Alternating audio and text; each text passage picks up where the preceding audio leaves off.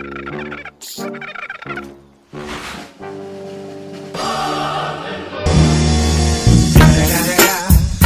the motherfucking Eagle Double G. Snoop Dogg.